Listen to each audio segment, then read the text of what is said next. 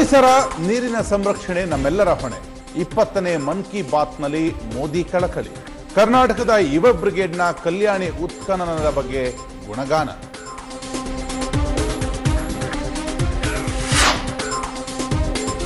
ಇರಾನ್ನ ಚಹಬಾರ್ನಲ್ಲಿ ಬಂದರು ನಿರ್ಮಿಸುವ ಒಪ್ಪಂದಕ್ಕೆ ಭಾರತ ಸಹಿ. ಅಮೆರಿಕದ ಪ್ರಬಲ ಆಕ್ಷೇಪದ ಮಧ್ಯೆಯೂ ಒಡಂಬಡಿಕೆ. ಒಪ್ಪಂದದ, ಈ ಒಪ್ಪಂದದಿಂದ ಕಚ್ಚಾ ತೈಲ ಆಮದು ಮಾಡಿಕೊಳ್ಳಲು ಸಹಕಾರಿ.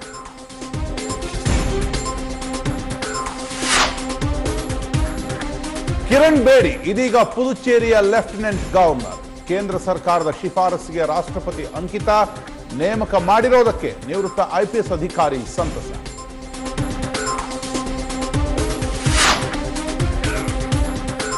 ಮೆಕ್ಸಿಕೋ ನಗರದಲ್ಲಿ ವಿಸ್ಮಯ. ಮೊನ್ನೆ ರಾತ್ರಿ ಸ್ಫೋಟದ ಶಬ್ದದ ಜೊತೆಗೆ ಕಾಣಿಸಿಕೊಂಡ ಬೆಳಕು ಉಲ್ಕೆ ಇರಬಹುದು ಎಂದು ಶಂಕೆ ವ್ಯಕ್ತಪಡಿಸಿದ ತಜ್ಞರು. ಪ್ಲೇ ಆಫ್ ಹಂತ ಪ್ರವೇಶಿಸಿದ ರಾಯಲ್ ಚಾಲೆಂಜರ್ಸ್. ವಿರಾಟ್ ಬಾಯ್ಸ್ ಬೆದರಿದ ಡೆಲ್ಲಿ ಡೇ ಡೆವಿಲ್ಸ್ ಆಕರ್ಷಕ ಅರ್ಧಶತಕ ಗಳಿಸಿದ ಕೊಹ್ಲಿ.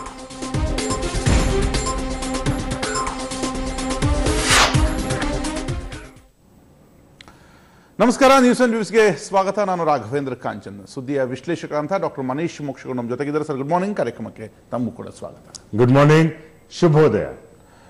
ಮೊದಲ ಸುದ್ದಿಯತ್ತ ಗಮನವನ್ನು ಹರಿಸೋದಾದ್ರೆ, ಅಮೆರಿಕದ ಪ್ರಬಲದ ಆಕ್ಷೇಪದ ಮಧ್ಯೆಯೂ ಇರಾನ್ನ ಚಹಬಹಾರ್ನಲ್ಲಿ ಬಂದರು ನಿರ್ಮಿಸುವ ಒಪ್ಪಂದಕ್ಕೆ ಭಾರತ ಸಹಿ ಹಾಕಿದೆ. ಇದರಿಂದ ಅಫ್ಘಾನಿಸ್ತಾನ, ಪಾಕಿಸ್ತಾನದ ಮೂಲಕ ಇರಾನ್ಗೆ ನೇರವಾಗಿ ಸಂಪರ್ಕ ಸಾಧ್ಯವಾಗಲಿದೆ. ಜೊತೆಗೆ ಆ ರಾಷ್ಟ್ರದಿಂದ ನೇರವಾಗಿ ಕಚ್ಚಾ ತೈಲ ಆಮದು ಮಾಡಿಕೊಳ್ಳಲು ಈ ಒಪ್ಪಂದ ನೆರವಾಗಲಿದೆ. ಇದಕ್ಕಾಗಿ ಚಹಬಹಾರ್ನಲ್ಲಿ ಈಗಾಗಲೇ ಐನೂರ ನಲವತ್ತೆರಡು ಪಾಯಿಂಟ್ ಆರು ಸೊನ್ನೆ ಕೋಟಿ ರೂಪಾಯಿ ವೆಚ್ಚದಲ್ಲಿ ಭಾರತ ಬಂದರು ನಿರ್ಮಾಣವನ್ನು ಮಾಡಲಾಗ್ತದೆ. ಈ ಒಪ್ಪಂದಕ್ಕೆ ಕೇಂದ್ರ ಭೂ ಸಾರಿಗೆಯ ಸಚಿವ ನಿತಿನ್ ಗಡ್ಕರಿ ಮತ್ತು ಇರಾನ್ನ ಸಾರಿಗೆ ಮತ್ತು ನಗರಾಭಿವೃದ್ಧಿ ಸಚಿವ ಡಾಕ್ಟರ್ ಅಬ್ಬಾಸ್ ಅಹಮದ್ ದವಾರ್ ಮುದ್ರೆಯೊತ್ತಿದ್ದಾರೆ. ಎಸ್ ಒಂದು ಮಹತ್ವದ ನಡೆ ಅನ್ನುವಂಥದ್ದು ಇಲ್ಲಿ ಮುಖ್ಯವಾಗಿ ಗಮನಕ್ಕೆ ಬರಬಹುದಾದಂಥ ಪ್ರಶ್ನೆಗಳು, ಈ ಬಂದರದಿಂದ ಭಾರತಕ್ಕೆ ಲಾಭ ಏನು? ಅಮೆರಿಕದ ವಿರೋಧ ಯಾಕೆ ಅಂತ. ಅಮೆರಿಕ ವಿರೋಧ ಈಗಿಲ್ಲ. ಮೊದಲನೇ ಪಾಯಿಂಟ್ ಎರಡ್ ಸಾವಿರದ ಹನ್ನೊಂದು, ಹನ್ನೆರಡರಲ್ಲಿ ಒಂದು ವಿರೋಧ ಬರಕ್ಕೆ ಶುರುವಾಯಿತು. ಯಾಕೆಂದ್ರೆ ಅಲ್ಲಿ ಇರಾನ್ ನ್ಯೂಕ್ಲಿಯರ್ ಟೆಕ್ನಾಲಜಿಯನ್ನ ಬಳಕೆ ಮಾಡುವಂತ ಒಂದು ಪರಿಸ್ಥಿತಿ ಬಂದಿದೆ ಅಂತ ಹೇಳಿ ಅಂತಾರಾಷ್ಟ್ರೀಯ ಮಟ್ಟದಲ್ಲಿ ಮಾತುಕತೆ ಬಂತು. ಅವಾಗ ಸ್ಯಾಂಕ್ಷನ್ಸ್ ಹೂಡಿ ಇನ್ಫ್ಯಾಕ್ಟ್ ಭಾರತ ಇರಾನಕ್ಕೆ ಎರಡು ಸಾವಿರ ಕೋಟಿ ರೂಪಾಯಿ ದುಡ್ಡು ಹಣ ನಾವೇ ಕೊಡಬೇಕು. ಆ ದುಡ್ಡು ಹಣ ಬಾಕಿ ಇಟ್ಕೊಂಡು ಯಾವುದೇ ಏನೋ ನಿಮಗೆ ಸ್ಯಾಂಕ್ಷನ್ಸ್ ಆದಾಗ ಒಳಗಡೆ ಇರೋ ಮಾಲು ಹೊರಗಡೆ ಬರೋಂಗಿಲ್ಲ. ಆ ಥರ ಒಂದು ಪರಿಸ್ಥಿತಿ ಆಗುತ್ತೆ. ಅಲ್ಲಿ ನಿಲ್ಲಿಸಿದ್ರು ಅದಕ್ಕೆ ಮುಂಚೆ ಇರಾನ್ ಬರೀ ಏನು ಚಾಬಹಾರ್ ಒಂದು ಪೋರ್ಟ್ ವಿಷಯ ಒಂದೇ ಇಂಪಾರ್ಟೆಂಟ್ ಅಲ್ಲ. ಇನ್ಫ್ಯಾಕ್ಟ್ ಬಹಳ ಹಿಂದಿನ ಕಾಂಟ್ಯಾಕ್ಟ್ ಇರಾನ್ ಮತ್ತು ಭಾರತದ ಹಿಂದ್, ಬಹಳ ಐತಿಹಾಸಿಕವಾದಂಥ ಒಂದು ಮೈತ್ರಿ ಇದೆ. ಇನ್ಫ್ಯಾಕ್ಟ್ ಇರಾನ್ ಅಂದ್ರೆ ಮೀನಿಂಗ್ ಗೊತ್ತಾ ನಿಮಗೆ? ಆ ದೇಶದ ಹೆಸರು ಇರಾನ್ ಹೇಗೆ ಬಂತು ಅಂತಂದ್ರೆ, ಆರ್ಯಾನ ಅಂತ, ಆರ್ಯರ್ ಇರುವ ನಾಡು ಇರಾನ ಅಂತ ಕರೆಯುವಂಥದ್ದು. ಸೊ ಅಷ್ಟು ಹಳೆ ಹಿಂದಿನಿಂದ ಏನು ಭಾರತ ಜೊತೆ ಏನು ಭಾರತ ಕೂಡ ಆರ್ಯವರ್ತ ಅಂತ ಹೇಳ್ತಾರೆ. ಆಗಿನ ಕಾಲದಿಂದ ನಡ್ಕೊಂಡ್ಬಂದಂಥ ಒಂದು ಮೈತ್ರಿ ಇದೆ. ಇತ್ತೀಚಿನ ದಿನಗಳಲ್ಲಿ ಏನಾಗಿದೆ ನಿಮಗೆ ಗೊತ್ತಿರಬಹುದು ಮುಸಲ್ಮಾನರಲ್ಲಿ ಎರಡು ಪಂಗಡ ಇರುತ್ತೆ, ಒಂದು ಶಿಯಾ ಮತ್ತೆ ಒಂದು ಸುನ್ನಿ ಅಂತ. ಹೈಯೆಸ್ಟ್ ನಂಬರ್ಸ್ ಇರುವಂಥದ್ದು ಸುನ್ನಿ. ಆದರೆ ಶಿಯಾ ಏನು ಕ್ಯಾಪಿಟಲ್ ಎಲ್ಲರ ಲೀಡರ್ ಯಾರು ಅಂತಂದ್ರೆ ಇರಾನ್, ಇರಾಕ್ ಏನಿದೆ. ಅದರಲ್ಲೂ ಇರಾನ್ ಸ್ಪೆಷಲಿ ಶಿಯಾ ಮುಸಲ್ಮಾನರ ಒಂದು ಲೀಡರ್ ಅಥವಾ ನಂಬರ್ ಒನ್ ಕಂಟ್ರಿ ಅಂತ ಹೇಳ್ಬೋದು. ಇಡೀ ಪ್ರಪಂಚದಲ್ಲಿ ಭಾರತದಲ್ಲಿ ಎರಡನೇ ಹೈಯೆಸ್ಟ್ ನಂಬರ್ ಶಿಯಾಗಳ ನಾಲ್ಕೂವರೆ ಕೋಟಿ ಶಿಯಾ ಭಾರತದಲ್ಲಿ ಇರ್ತಾರೆ. ಅವ್ರ ಪಾಪ್ಯುಲೇಷನ್ ನಾಲ್ಕೂವರೆ ಕೋಟಿ ಅಂತ ಹೇಳ್ತಾರೆ. ಸೊ ಹಾಗಾಗಿ ಒಂದು ದೃಷ್ಟಿಯಿಂದ, ಒಂದು ಧಾರ್ಮಿಕ ದೃಷ್ಟಿಯಿಂದ ಇರಾನ್ ಇಂಪಾರ್ಟೆಂಟ್ ಆಗುತ್ತೆ. ಎರಡನೇದು ನೀವು ನೋಡ್ತಾ ಹೋದ್ರೆ ಎರಡು ಸಾವಿರ ಕೋಟಿ ರೂಪಾಯಿ ವಾಪಸ್ ಕೊಡಬೇಕಲ್ಲ. ವಾಪಸ್ ಹೇಗೆ ಕೊಡೋದು ಅಂತ ಅಂದಾಗ ನಿಜವಾಗ್ಲೂ ಈ ಸರ್ಕಾರ ಮಾಡಿರುವಂಥದ್ದು ಬಹಳ ಅದ್ಭುತವಾದ ಒಂದು ಯೋಜನೆ ಇದೆ. ಅವ್ರೇನಂತಂದ್ರು ಅಂದ್ರೆ, ನಾವು ನಿಮ್ಮನ್ನ ಹಣ ಕೊಡೋದಿಲ್ಲ. ಅದ್ರ ಬದಲು ಚಾಬಹಾರ್ ಇಂದ ಏನು ಜಹಡೆನ್ ಅಂತ ಒಂದು ಊರಿದೆ. ಆ ಊರಿಗೆ ನಿಮಗೆ ರೈಲ್ವೆ ಟ್ರ್ಯಾಕ್ ಹಾಕ್ಕೊಟ್ಬಿಡ್ತೀವಿ ಅಂತ.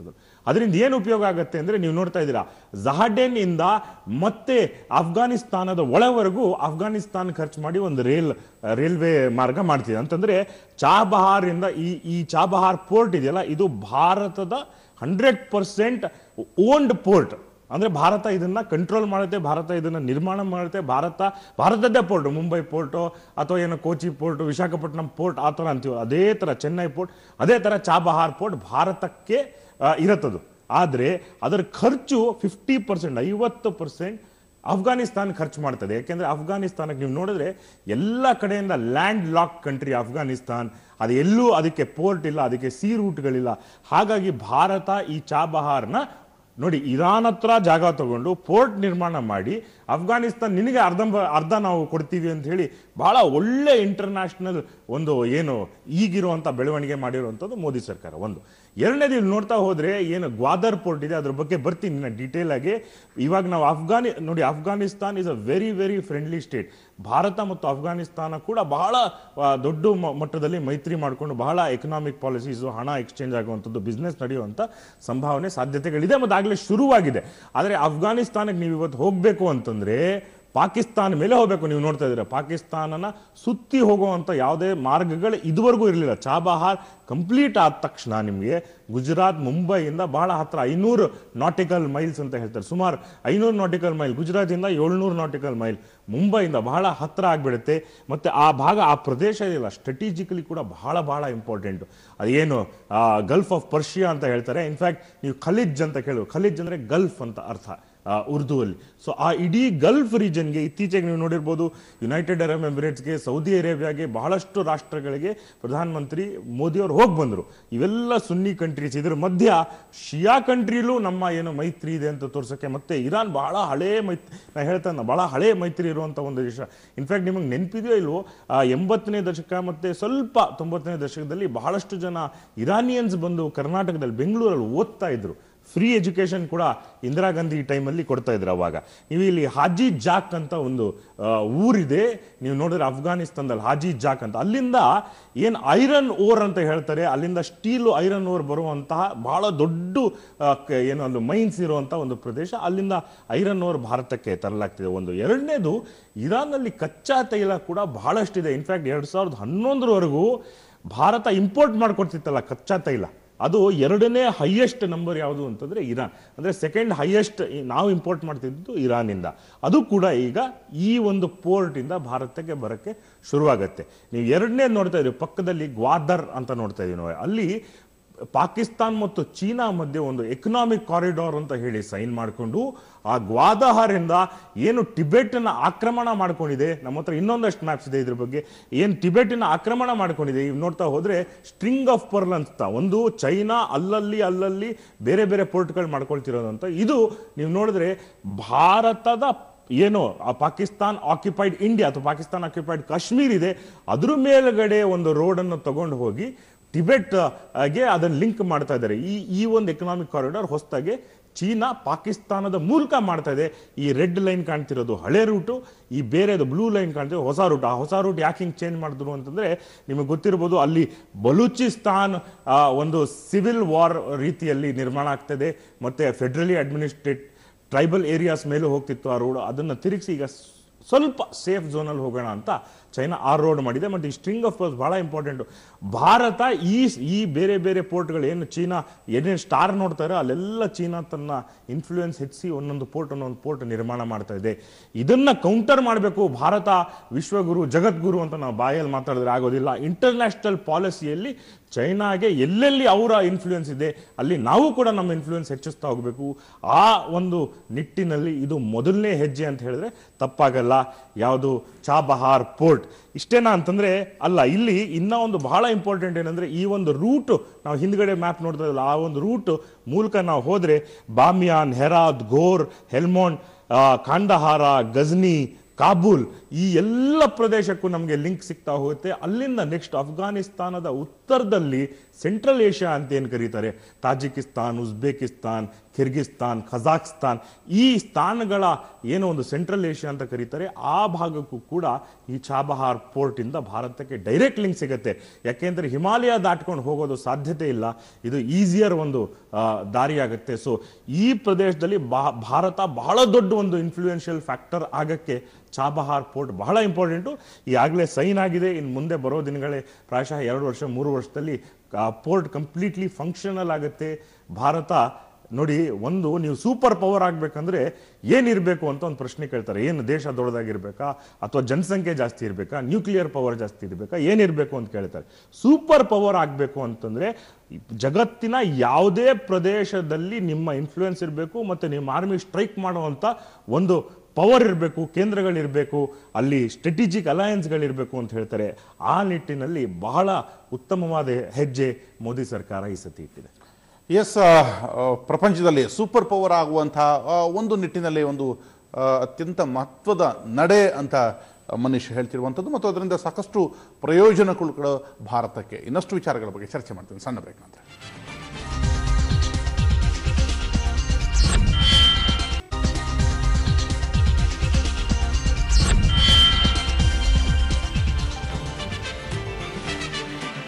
ಬ್ರೇಕ್ ನಂತರ ಮತ್ತೆ ನ್ಯೂಸ್ ಅಂಡ್ ವ್ಯೂಸ್ ಮುಂದುವರಿಸ್ತಾ, ನಿವೃತ್ತ ಐ ಪಿ ಎಸ್ ಅಧಿಕಾರಿ ಕಿರಣ್ ಬೇಡಿ ಈಗ ಪುದುಚೇರಿಯ ಲೆಫ್ಟಿನೆಂಟ್ ಗವರ್ನರ್ ಆಗಿ ನೇಮಕಗೊಂಡಿದ್ದಾರೆ. ಬಿಜೆಪಿ ನಾಯಕಿ ಕಿರಣ್ ಬೇಡಿ ಅವರನ್ನ ಹುದ್ದೆಗೆ ನೇಮಕ ಮಾಡಿ ಕೇಂದ್ರ ಸರ್ಕಾರ ಆದೇಶವನ್ನು ಹೊರಡಿಸಿದೆ. ಕೇಂದ್ರ ಸರ್ಕಾರದ ಶಿಫಾರಸ್ಸಿಗೆ ರಾಷ್ಟ್ರಪತಿ ಪ್ರಣಬ್ ಮುಖರ್ಜಿ ಅಂಕಿತವನ್ನು ಹಾಕಿದ್ದು, ಲೆಫ್ಟಿನೆಂಟ್ ಗವರ್ನರ್ ಆಗಿ ಅಧಿಕಾರ ವಹಿಸಿಕೊಳ್ಳುವುದು ಅಧಿಕೃತವಾಗಿದೆ. ಸಾಮಾಜಿಕ ಕಾರ್ಯಕರ್ತೆಯಾಗಿ ಗುರುತಿಸಿಕೊಂಡಿದ್ದಂತಹ ಕಿರಣ್ ಬೇಡಿ, ಕಳೆದ ವರ್ಷ ದೆಹಲಿ ವಿಧಾನಸಭಾ ಚುನಾವಣೆಯಲ್ಲಿ ಬಿಜೆಪಿಯ ಮುಖ್ಯಮಂತ್ರಿ ಅಭ್ಯರ್ಥಿಯಾಗಿದ್ದರು ಆದರೆ ಭಾರಿ ಮುಖಭಂಗವನ್ನು ಕೂಡ ಅಲ್ಲಿ ಅನುಭವಿಸಿದ್ರು. ಈಗ ಅವ್- ಅವರಿಗೆ ಒಂದು ಸಾಂತ್ವನದ ಹುದ್ದೆಯನ್ನು ಸೃಷ್ಟಿ ಮಾಡಿಕೊಟ್ಟಿದೆ ಕೇಂದ್ರ ಸರ್ಕಾರ.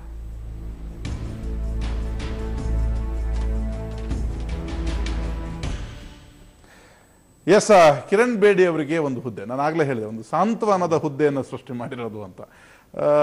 ಅವ್- ಇದರ ಇದರ ಅರ್ಥ ಏನಂತ ನಾವು ಭಾವಿಸ್ಬೇಕು. ಒಬ್ಬ ಹಿರಿಯ ಅಧಿಕಾರಿಯಾಗಿ ಕಾರ್ಯನಿರ್ವಹಿಸಿದಂತಹ ಕಿರಣ್ ಬೇಡಿಗೆ ಸಿಕ್ಕಂತ ಸ್ಥಾನಮಾನವ ಅಥವಾ ಅವರ ರಾಜಕೀಯ ಭವಿಷ್ಯದ ಅಂತಿಮ ಪಯಣ ರಾಜಕೀಯ ಭವಿಷ್ಯ ಅಂತೂ ಮುಗೀತು ಅಂತ ನಾವು ಪರಿಗಣಿಸ್ಬೋದು ಇಲ್ಲಿ.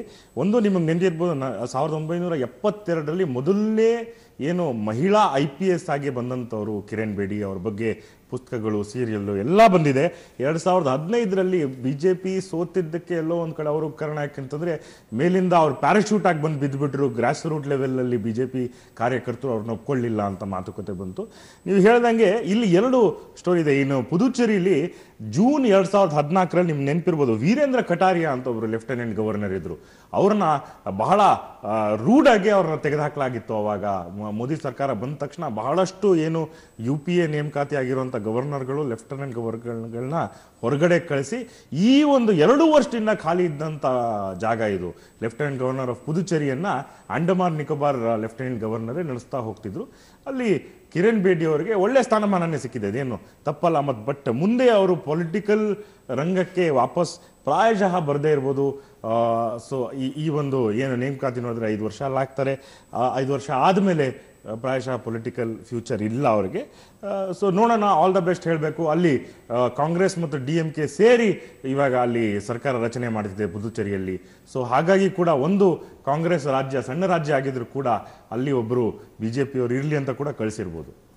ಎಸ್ ಈ ನಡೆ ಆದರೆ ತಮ್ಮ ಕಾರ್ಯವೈಖರಿಯ ಮೂಲಕವೇ ಹೆಸರಾದಂಥ ಕಿರಣ್ ಬೇಡಿ ಆ ಎಲ್ಲ ನೈಪುಣ್ಯತೆಗಳನ್ನು ಪುದುಚೇರಿಯಲ್ಲಿ ಕೂಡ ಮಾಡಲಿ ಅನ್ನುವಂಥ ಆಶಯದಲ್ಲಿ ಮುಂದೆ ಹೋದರೆ ದೇಶದ ಹಲವು ರಾಜ್ಯಗಳು ಬರದಿಂದ ತತ್ತರಿಸಿ ಹೋಗಿದೆ. ಹನಿ ನೀರಿಗೂ ಕೂಡ ಎಲ್ಲಿಗೂ ಎಲ್ಲೆಡೆಯೂ ಹಾಹಾಕಾರ ಇದ್ದಿರುವಂಥದ್ದು ಇದೇ ವಿಚಾರವನ್ನು ಮುಂದಿಟ್ಟುಕೊಂಡು ಪ್ರಧಾನಿ ನರೇಂದ್ರ ಮೋದಿ ಆಕಾಶವಾಣಿಯ ಇಪ್ಪತ್ತನೇ ಮನ್ ಕಿ ಬಾತ್ನಲ್ಲಿ ಮಾತನಾಡಿದರು. ಮೋದಿ ಪರಿಸರ ಕುರಿತು ನಿರ್ಲಕ್ಷ್ಯ ಹೆಚ್ಚಾಗ್ತಾ ಇದೆ. ಇದರಿಂದ ಉಷ್ಣತೆಯೂ ಹೆಚ್ಚಾಗಿದೆ. ಹಾಗಾಗಿ ಪರಿಸರ ರಕ್ಷಣೆ ಮಾಡುವುದು ನಮ್ಮೆಲ್ಲರ ಜವಾಬ್ದಾರಿ ಅಂತ ಕರೆ ನೀಡಿದರು. ಹಾಗಾಗಿ ಅದೇ ಅದರ ಸಂದರ್ಭದಲ್ಲಿ ರಾಜ್ಯದ ಮುಖ್ಯಮಂತ್ರಿಗಳನ್ನು ಭೇಟಿಯಾಗಿ ಅರಣ್ಯ ಮತ್ತು ನೀರು ಉಳಿಸಲು ಕೈಗೊಳ್ಳಬೇಕಾದ ಕ್ರಮಗಳ ಬಗ್ಗೆ ಚರ್ಚಿಸೋದಾಗಿ ತಿಳಿಸಿದರು. ಅಲ್ಲದೆ ಪ್ರಕೃತಿ ನಾಶವಾಗ್ತಿದೆ, ಇದನ್ನು ತಪ್ಪಿಸಲು ದೇಶದಲ್ಲಿ ಹೆಚ್ಚು ಗಿಡ ಮರ ಬೆಳೆಸಿ ಸಂರಕ್ಷಿಸುವಂತೆ ಹೇಳಿದ್ದಾರೆ. ಇದೇ ಸಂದರ್ಭದಲ್ಲಿ ಗಮನ ಸೆಳೆದಂಥ ಇನ್ನೊಂದು ಮಾತಂದ್ರೆ, ಕರ್ನಾಟಕದ ಯುವ ಬ್ರಿಗೇಡ್ನ ಕಲ್ಯಾಣಿ ಉತ್ಖನನದ ಬಗ್ಗೆ ಪ್ರಸ್ತಾಪಿಸಿದ ಪ್ರಧಾನಿ ಕಾರ್ಯಕರ್ತರ ಶ್ರಮವನ್ನು ಶ್ಲಾಘಿಸಿದ್ದಾರೆ ಅನ್ನುವಂಥದ್ದು.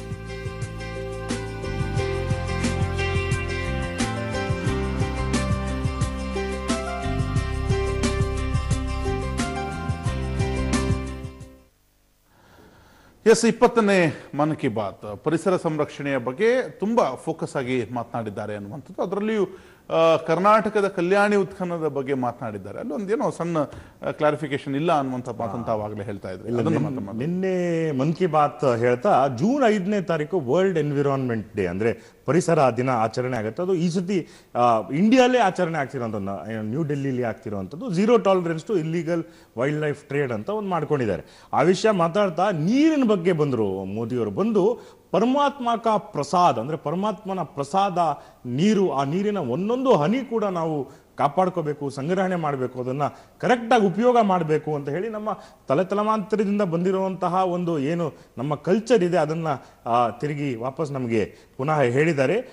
ಇದರಲ್ಲಿ ಒಂದು ಇಂಪಾರ್ಟೆಂಟ್ ವಿಷಯ ಏನಂತಂದರೆ ಅವ್ರು ಹೇಳ್ತಾ ಸರ್ಕಾರ ಕಲ್ಯಾಣಿಗಳ ಏನು ಉದ್ಧಾರ ಮಾಡಕ್ಕೆ ಹೊರಟಿದೆ ಅನ್ನೋ ರೀತಿಯಲ್ಲಿ ಹೇಳಿದರು. ಅಲ್ಲ, ಯುವ ಬ್ರಿಗೇಡ್ ಅದನ್ನ ಮಾಡ್ತಿರೋದು ಅನ್ನೋದು ಒಂದು ಇಲ್ಲಿ ವಿಶೇಷ. ಈ ಯುವಕರೆಲ್ಲ ಸೇರಿ ನಿಮಗೆ ಈ ಈ ಒಂದು ತಂಡದ ಬಗ್ಗೆ ಕೇಳಿದ್ರೆ ಆಶ್ಚರ್ಯ ಆಗುತ್ತೆ. ಯಾವುದ್ಯಾವುದೋ ಊರಿಂದ ಎಲ್ಲೆಲ್ಲಿಂದನೂ ಬರ್ತಾರೆ. ಆ ಸ್ಥಳೀಕರು ಅಲ್ಲ ಅವ್ರಿಗೆ ಏನು ಅದರಿಂದ ಉಪಯೋಗವೂ ಆಗಲ್ಲ. ಕಲ್ಯಾಣಿ ಜೀರ್ಣೋದ್ಧಾರ ಮಾಡಿದ್ರೆ ಅವ್ರಿಗೆ ಪರ್ಸನಲಿ ಏನು ವೈಯಕ್ತಿಕವಾದ ಹೆಲ್ಪ್ ಏನಿಲ್ಲ. ಮತ್ತೆ ನಾನ್ ಪೊಲಿಟಿಕಲ್ ಆರ್ಗನೈಸೇಷನ್ ಇದು. ನಿತ್ಯಾನಂದ ವಿವೇಕ್ ವಂಶಿ ಅಂತ ಹೇಳಿ ರಾಜ್ಯ ಸಂಚಾಲಕರು ಅವ್ರ ಜೊತೆ ನಿನ್ನೆ ಮಾತಾಗಿಲ್ಲ ಬಟ್ ಮಾರ್ಗದರ್ಶಕರು ಚಕ್ರವರ್ತಿ ಸುಲಿಬೇಲೆ ಅವ್ರ ಜೊತೆ ನಿನ್ನೆ ನನ್ನ ಮಾತಾಯಿತು ಅವ್ರು ಕೇಳಿದೆ, ಎಷ್ಟು ಜಿಲ್ಲೆಗಳಲ್ಲಿ ನೀವು ಈ ಕೆಲಸ ಮಾಡಿದ್ದೀರಾ? ಅಂತಾರೆ. ಇಪ್ಪತ್ತು ಡಿಸ್ಟ್ರಿಕ್ಟ್ ಇಪ್ಪತ್ತು ಜಿಲ್ಲೆಗಳಲ್ಲಿ ಬೇರೆ ಬೇರೆ ಕಲ್ಯಾಣಿ, ಐವತ್ತೈದು ಕಲ್ಯಾಣಿಗಳನ್ನ ಜೀರ್ಣೋದ್ಧಾರ ಮಾಡಿದರೆ ಹೂಳು ತೆಗೆದಿದ್ದಾರೆ, ವಾಪಸ್ ನೀರು ಬರುವಂಗೆ ಮಾಡಿದರೆ ಸಾವಿರದ ಐನೂರಿಂದ ಎರಡು ಸಾವಿರ ಏನು ಯುವ ಬ್ರಿಗೇಡ್ ಕಾರ್ಯಕರ್ತರು ಸೇರಿ ಮಾಡಿರುವಂತಹ ಈ ದೊಡ್ಡ ಮಹತ್ ಕಾರ್ಯ. ನಿನ್ನೆ ನಾನು ಮಾತಾಡಿದಾಗ ವರ್ತೂರು ಕೆರೆಯಲ್ಲಿ ಒಂದು ಎಕರೆ ಬಹಳ ದೊಡ್ಡ ಕಲ್ಯಾಣಿಯನ್ನ ಕೂಡ ಹೂಳು ತೆಗೆದು ಅದನ್ನು ಕ್ಲೀನ್ ಮಾಡ್ತಾ ಇದ್ದೀವಿ ಅಂತ. ಒಂದು ಎಕರೆ ವ್ಯಾಪ್ತಿ ಇರುವಂತಹ ಒಂದು ಕಲ್ಯಾಣಿನ ಕ್ಲೀನ್ ಮಾಡ್ತಾ ಇದ್ರು. ನಿನ್ನೆ ಮಾತಾಡಿದಾಗ ಮತ್ತೆ ರಾಯಚೂರು ಕಲ್ಯಾಣಿ ಬಗ್ಗೆ ಒಂದು ಮಾತು ಹೇಳಿದ್ರು. ಅಲ್ಲಿ ನಲವತ್ತೆರಡು ಹೆಜ್ಜೆಗಳಿರುವಂತಹ ಸ್ಟೆಪ್ಸ್ ಇರುವಂತಹ ಒಂದು ಕಲ್ಯಾಣಿಗೆ ಎಂಟು ಕಾಣ್ತಾ ಇತ್ತಂತೆ. ಕ್ಲೀನ್ ಮಾಡಿದ ಮೇಲೆ ನಲವತ್ತೆರಡು ಸಿಕ್ಕಿದೆ. ಆ, ಅಲ್ಲಿ ಎಣ್ ನೀ ತೆಗೆದ ತಕ್ಷಣ, ನೀರು ಕೂಡ ತಕ್ಷಣ ಹರಿದು ಬಂತು ಅಲ್ಲಿ ಅಂತ ಬಹಳ ಸಂತೋಷದಿಂದ ಹೇಳ್ಕೊಂಡ್ರು. ನಿಜವಾಗ್ಲು ಮೋದಿ ಅವರು ಹೇಳೋದಕ್ಕೂ, ಕರ್ನಾಟಕದಲ್ಲಿ ಕಾರ್ಯ ನಡೆಯೋದಕ್ಕೂ ಬಹಳ ಒಳ್ಳೆ ತಾಳ್ಮೇಲೆ ನಡೀತಾ ಇದೆ. ಖುಷಿ ಆಯ್ತು ಒಂದು ಒಂದು ಕಡೆ. ಎರಡನೇದು, ಜಲ್ ಬಚಾವ್ ಆಂದೋಲನ್ ಮಾಡಬೇಕು ಅಂತ ಹೇಳ್ತಿರೋ ನೋಡಿ, ಕಲ್ಯಾಣಿಗಳು ತಾನೇ ಕೆಳಗಡೆಯಿಂದ ನೀರು ತಂದು ಜನಗಳಿಗೆ ಕೊಡುವಂಥ ಒಂದು ನಿಜವಾಗ್ಲೂ ಒಂದು ಪವಿತ್ರವಾದ ಸ್ಥಳ. ಅದನ್ನು ನಾವು ಈ ಥರ ಕೂಳು ಕಟ್ಕೊಂಡು ಹೋಗಿ ಎಷ್ಟೋ ವರ್ಷಗಳು ಈ ಈ ವರ್ತೂರ ಬಗ್ಗೆ ಮಾತಾಡಿದ್ರೆ ಇಪ್ಪತ್ತೈದು ವರ್ಷದಿಂದ ಆ ಕಲ್ಯಾಣಿ ಬಗ್ಗೆ ಯಾರು, ಒಂದು ಎಕರೆ ಇರುವಂತಹ ಕಲ್ಯಾಣಿ ಬಗ್ಗೆ ಯಾರಿಗೂ ಕಾಳಜಿ ಇರಲಿಲ್ಲ. ನಿಜವಾಗ್ಲೂ ನಮ್ಮ ವಾಹಿನಿಯ ಮೂಲಕ ಇದನ್ನು ಎಲ್ಲರಿಗೂ ತಲುಪಿಸಿ ಇನ್ಫ್ಯಾಕ್ಟ್ ಯುವ ಬ್ರಿಗೇಡ್ಗೂ ಒಂದು ರಿಕ್ವೆಸ್ಟ್ ಏನಂತಂದ್ರೆ, ಸ್ಥಳೀಕರನ್ನು ಸೇರಿಸ್ಕೊಳ್ಳಿ. ಯಾಕೆ ಅವ್ರು ಮಾಡಬಾರ್ದು? ಬೇರೆಯವ್ರು ಬಂದು ಯಾಕೆ ಹೆಲ್ಪ್ ಮಾಡ್ಲಿ ಅಂತ ಕಾಯಬೇಕು. ಅವರು ಕೂಡ ಸೇರಿ ಮಾಡ್ಬೋದು ಬಟ್ ಫೆಂಟಾಸ್ಟಿಕ್ ಕೆಲಸ.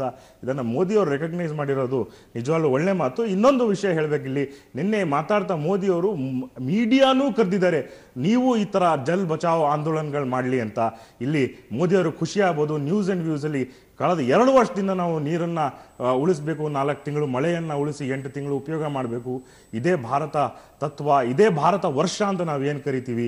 ಈ ಈ ಒಂದು ಪ್ರತಿ ವರ್ಷದ ನೀರು ಸಂಗ್ರಹಣೆನೇ ಭಾರತ ತತ್ವ ಅಂತ ಹೇಳ್ತಾನೆ ಇದ್ದೀವಿ ಸೊ ನಾವಂತೂ ನಮ್ಮ ಕೆಲಸ ಮಾಡ್ತಾ ಇದ್ದೀವಿ ಮೋದಿಯವರು ನೀರಿನ ಬಗ್ಗೆ ತಂದಿರುವಂತಹ ಒಂದು ಕಾಳಜಿ ಬಹಳ ಇಂಪಾರ್ಟೆಂಟ್ ಯಾಕೆಂದರೆ ಇನ್ನೇನು ಮಳೆಗಾಲ ಬರೋದಿದೆ, ಈ ನಾಲ್ಕು ತಿಂಗಳು ಮಳೆಯನ್ನು ಸಂಗ್ರಹಣ ಮಾಡೋದು ಎಲ್ಲರ ಒಂದು ನಮ್ಮ ಜವಾಬ್ದಾರಿ ಇದು. ನಿಂತು ನಾವು ಮಾಡಬೇಕು. ಮತ್ತು Yuva brigade fantastic work please continue ಮಾಡಿ ನಮಗೂ ತಿಳಿಸಿ ಮಾಧ್ಯಮದ ಮೂಲಕ ನಾವು ಹಂಚ್ಕೋಬಹುದು ಅಂತ ಹೇಳಿ. ಎಸ್ ಬೆಂಗಳೂರಿನ ಕೆಲವು ಭಾಗಗಳನ್ನ ಕೂಡ ಅಲ್ಲಿ ಫೋಟೋ ಬಂತು ಅದ್ರ ವಿಷಯನೇ ಮಾತಾಡೋಣ ಸಣ್ಣದಾಗಿ ಲಾಸ್ಟ್ ಅಲ್ಲಿ ನೀವು ಫೋಟೋ ನೋಡಿದ್ರೆ ಈ ಕಲ್ಯಾಣಿಗಳೆಲ್ಲ ಕ್ಲೀನ್ ಆಗಿ ಓಪನ್ ಆಗಿ ನೀರು ತುಂಬಿಕೊಳ್ಳತ್ತಲ್ಲ.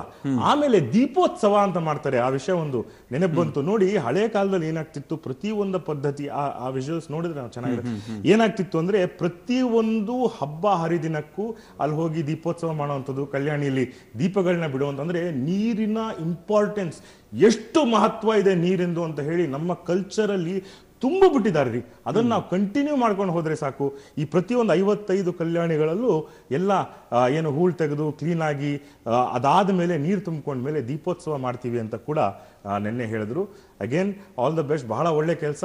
ಇದೇ ಥರ ಮುಂದುವರಿಸಲಿ ಯುವ ಬ್ರಿಗೇಡ್ ಕೆಲಸ. ಎಸ್, ಆಮೇಲೆ ಬೆಂಗಳೂರಿನ ಕೆಲವು ಗಲ್ಲಿಗಳನ್ನು ಕೂಡ ನಾನು ಅಬ್ಸರ್ವ್ ಮಾಡಿದ್ದೆ. ಕೆಲವು ಸ್ವಚ್ಛ ಭಾರತ ಅಭಿಯಾನದ ಅಡಿಯಲ್ಲಿ ಅಥವಾ, ಆ, ಕೆಲವು ರಸ್ತೆಗಳನ್ನು ಕ್ಲೀನ್ ಮಾಡಿ ತದ ನಂತರ ಅದಕ್ಕೆ ಒಂದು ಬ್ಯೂಟಿಫುಲ್ ಪೇಂಟಿಂಗ್ ಮಾಡಿ ಆ, ಆ ಕಾರ್ಯಗಳಲ್ಲೂ ಕೂಡ ಈ ಬ್ರಿಗೇಡ್ ಕಾರ್ಯವನ್ನು. ಅಬ್ಸಲ್ಯೂಟ್ಲಿ ನೋಡಿ ನಿನ್ನೆ ಮಾತಾಡ್ತಾ ಇನ್ನೊಂದು ವಿಷಯ ಅವ್ರು ಹೇಳಿದ್ರು. ನಾನ್ ಪೊಲಿಟಿಕಲ್ ಆರ್ಗನೈಸೇಷನ್ ಒಂದೇ ಅಲ್ಲ. ಇನ್ಫ್ಯಾಕ್ಟ್ ನಮಗೆ ಬ್ಯಾಂಕ್ ಅಕೌಂಟೇ ಇಲ್ಲ. ಏನೇ ನಾವು ಮಾಡಕ್ ಹೋದ್ರು ಅವತ್ತಿನ ದಿನಕ್ಕೆ ಎಷ್ಟು ಸಂಗ್ರಹಣೆ ಆಯ್ತು ಅದು ಮಾಡಿ ಅಲ್ಲೇ ಅಕೌಂಟ್ ಸೆಟ್ಲ್ ಮಾಡಿ ಎಲ್ರಿಗೂ ಹೋಗ್ಬೇಡ್ಬೇಕು. ಹುಡುಗರಿಗೆ ಯಾವ ಪಾರ್ಟಿಯಿಂದ ನಮ್ಮ ಮುಂದೆ ಟಿಕೆಟ್ ಸಿಗಲ್ಲ ಹಣ ಸಿಗಲ್ಲ ಏನೂ ಇಲ್ಲ. ಬರೀ ದೇಶ ಸೇವೆ ಜನರ ಸೇವೆಗಾಗಿ ಒಟ್ಟು ಸೇರಿ ಯುವ ಬ್ರಿಗೇಡ್ ಕೆಲಸ ಮಾಡ್ತಿದೆ ಅಂತ ಕೂಡ ನಿನ್ನೆ ಚಕ್ರವರ್ತಿ ಅವರು ಹೇಳಿದ್ರು. ಫೆಂಟಾಸ್ಟಿಕ್ ರೀ. ಇಂಥ ಯುವಕರ ತಂಡ ಇನ್ಫ್ಯಾಕ್ಟ್ ಉತ್ತರ ಪ್ರದೇಶಲ್ಲಿ ಒಬ್ಬರು ಸೇರಿಕೊಂಡು ಒಂದು ತಂಡ ಸೇರಿ ಇದೇ ಥರ ಕಲ್ಯಾಣಿ ಕ್ಲೀನಿಂಗ್ ಮಾಡ್ತಾ ಇದೆ ಅಂತ ಕೂಡ ಮಾಹಿತಿ. ಎಸ್ ಒಳ್ಳೆಯ ಕಾರ್ಯ. ಎಲ್ಲ ಯುವಕರಿಗೆ ಅವರು ಹರಿಸಿದ ಬೆವರಿಗೆ ನಮಸ್ಕಾರವನ್ನು ಹೇಳ್ತೀವಿ. ಮತ್ತು ಅದನ್ನ ಪ್ರಧಾನಿಗಳು ಗುರುತಿಸಿದ್ದಿದೆಯಲ್ಲ ಅದು ತುಂಬಾ ಒಳ್ಳೆಯ ಕೆಲಸ. ಮತ್ತು ಈ ಬ್ರಿಗೇಡ್ನ ಕ್ರೆಡಿಟ್ ಅನ್ನ ಇನ್ಯಾವುದು ರಾಜಕೀಯ ಪಕ್ಷಗಳು ಪಡೆದುಕೊಳ್ಳದೇ ಇರಲಿ ಅದು ಅವ್ರನ್ನ ಅವ್ರ ಪಾಡಿಗೆ ಹಾಗೆ ಬಿಟ್ಟು ಬಿಡಲಿ ಅನ್ನುವಂಥ ಆಶಯ ಕೂಡ. ಥ್ಯಾಂಕ್ ಯು ಹಲವು ವಿಚಾರಗಳ ಬಗ್ಗೆ ಚರ್ಚೆ ಮಾಡಿದ್ವಿ. ನಾಳೆ ಮತ್ತೆ ಭೇಟಿಯಾಗಿ. ಇದಿಷ್ಟು ಇವತ್ತಿನ ನ್ಯೂಸ್ ಅಂಡ್ ವ್ಯೂಸ್ ನೇರ ದಿಟ್ಟ ನಿರಂತರ ಸುದ್ದಿಗಾಗಿ ನೋಡ್ತಾ ಸುವರ್ಣ ನ್ಯೂಸ್